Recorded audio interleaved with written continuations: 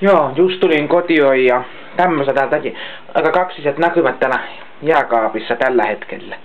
Kun ei ole syönyt oikeastaan mitään tänään, että mitä tässä olisi, söisikö päärynää ja mitä täällä sitten on. Aika kaksiset näkymät täällä jääkaapissa. Siellä olisi vähän porkkanaa ja omenoita. Siellä olisi omenoita, tästä olisi näitä, näitä oikein. Tällaisia olisi sitten näitä appelsiineja appelsiinit.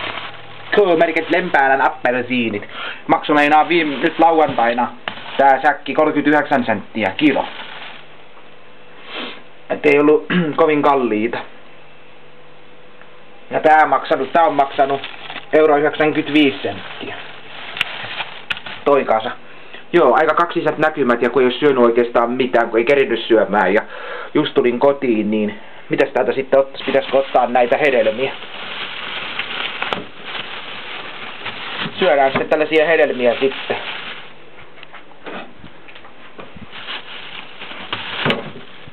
Syödään sitten vaan pelkkiä he hedelmiä, kun ei ole muutakaan oikeastaan nyt, eikä vitti laittaa mitään hirveästi mitään, kun ei ole oikeastaan mitään, niin vois näitä sitten ottaa. Otetaan sitten pari tällaista. Jep. Joo. Joo, ja tossa mä oon päivittämässä pandan virustorjuntaohjelmaa. Joo, se on päivitettykin onnistuneesti. Joo.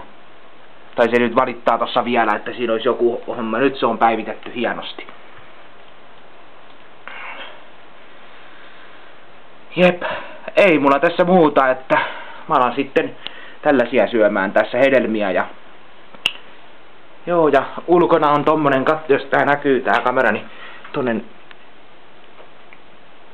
ihan sairas ilma, että tuulee ja on tonne lumimyräkän oloinen ilma. Joo, näihin kuviin ja näihin tunnelmiin.